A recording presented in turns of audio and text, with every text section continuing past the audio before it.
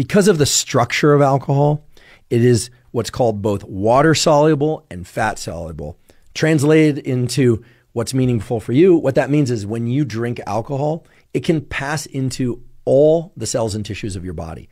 It has no trouble just passing right into those cells.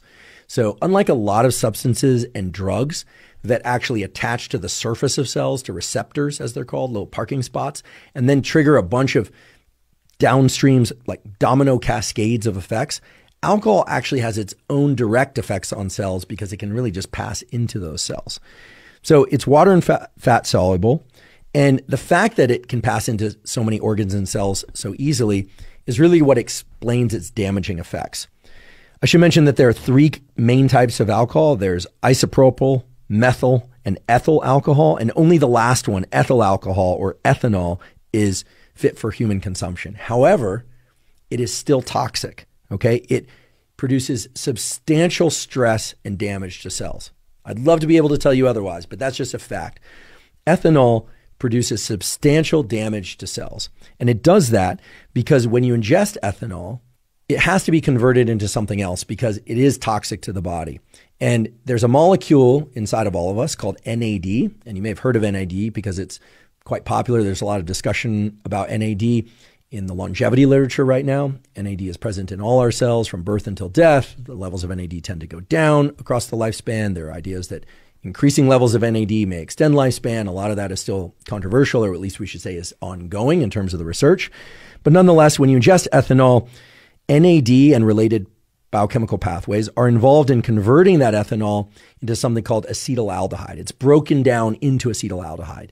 And if you thought ethanol was bad, acetaldehyde is particularly bad. Acetaldehyde is poison. It will kill cells. It damages and kills cells, and it is indiscriminate as to which cells it damages and kills. Now, that's a problem, obviously, and the body deals with that problem by using another component of the NAD biochemical pathway to convert acetaldehyde into something called acetate. Acetate is actually something that your body can use as fuel.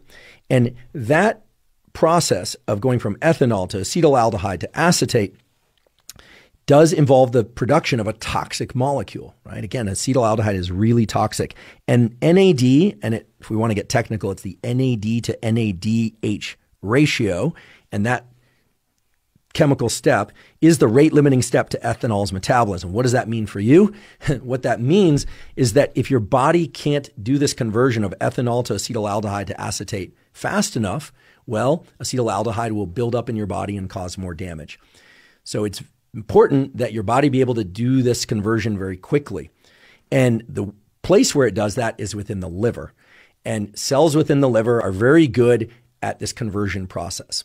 But they are cells and they are exposed to the acetaldehyde in the conversion process. And so cells within the liver really take a beating in the alcohol metabolism events. So the key thing to understand here is that when you ingest alcohol, you are, yes, ingesting a poison, and that poison is converted into an even worse poison in your body. And some percentage of that worse poison is converted into a form of calories that you can use to generate energy, generate ATP. And the reason why alcohol is considered empty calories is because that entire process is very metabolically costly, but there's no real nutritive value of the calories that it creates. You can use it for immediate energy, but it can't be stored in any kind of meaningful or beneficial way. It doesn't provide any vitamins. It doesn't provide any amino acids. It doesn't provide any fatty acids. It's truly empty calories. I know some people talk about sugar as empty calories, but sugar actually is a far better fuel source than alcohol or acetate. But nonetheless, when you ingest alcohol, some percentage is being shuttled into a worse poison and some is being shuttled into a fuel source. Now, the important thing to understand is that it is the poison, the acetaldehyde itself, that leads to the effect of being inebriated or drunk. I think most people don't realize that, that being drunk is actually a poison induced disruption in the way that your neural circuits work.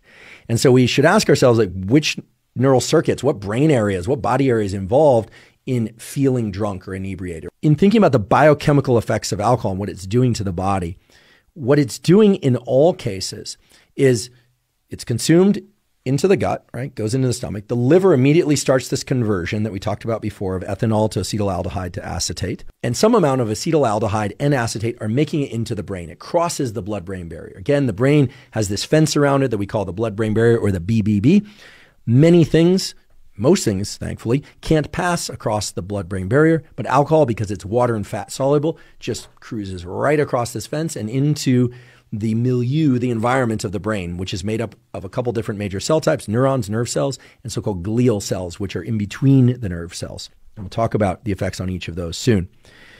So, what happens when alcohol gets into the brain that makes us feel tipsy or drunk, and in some people makes people feel really especially energized and happy? Well, Alcohol is indiscriminate in terms of which brain areas it goes to. Again, it doesn't bind to particular receptors, but it does seem to have a propensity or an affinity for particular brain areas that are involved in certain kinds of thinking and behavior. So, one of the first things that happens is that there's a slight, at least after the first drink or second drink, there's a slight suppression in the activity of neurons in the prefrontal cortex. This is an area of your neocortex that's involved in thinking and planning and perhaps above all, in suppression of impulsive behavior.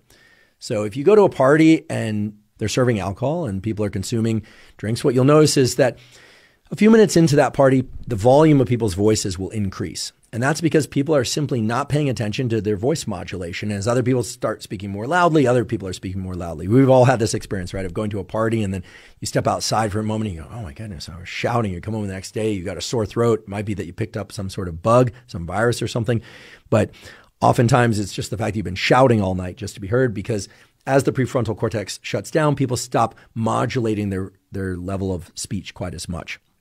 Also notice that people start gesticulating more. People will start standing up and sitting down more. They'll start walking around more. If there's music on, people might spontaneously start dancing. All of this is because these areas of the prefrontal cortex normally are providing what's called top down inhibition. They are releasing a neurotransmitter called GABA onto various parts of the brain. They're involved in impulsive motor behavior and thought patterns. And as you shut down the prefrontal cortex, that GABAergic suppression of impulses starts to be released. So people will say things that they want to say without so much forethought about what they're saying. Or they might do things that they want to do without really thinking it through quite as much, or they might not even remember thinking it through at all, or experience, I should say, thinking it through at all. We haven't talked about blacking out yet and the effects of alcohol on memory. But as long as we're there, I'll just tell you that alcohol has a very strong effect in suppressing the neural networks that are involved in memory formation and storage. This is why oftentimes we forget the events of a night out if we've been drinking.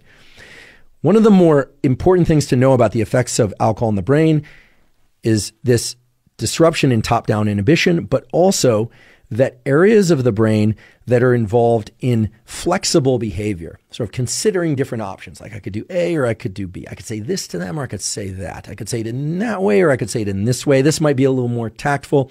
Those brain areas basically shut down entirely, and people just tend to say what they want to say. So the key thing to understand is that when people drink, the prefrontal cortex and top down inhibition is diminished. That is, habitual behavior and impulsive behavior starts to increase. Now, what's interesting is this is true in the short term, so after people have one or two, maybe three or four drinks, but it's also true that the more often that people drink, there are changes in the very circuits that underlie habitual and impulsive behavior.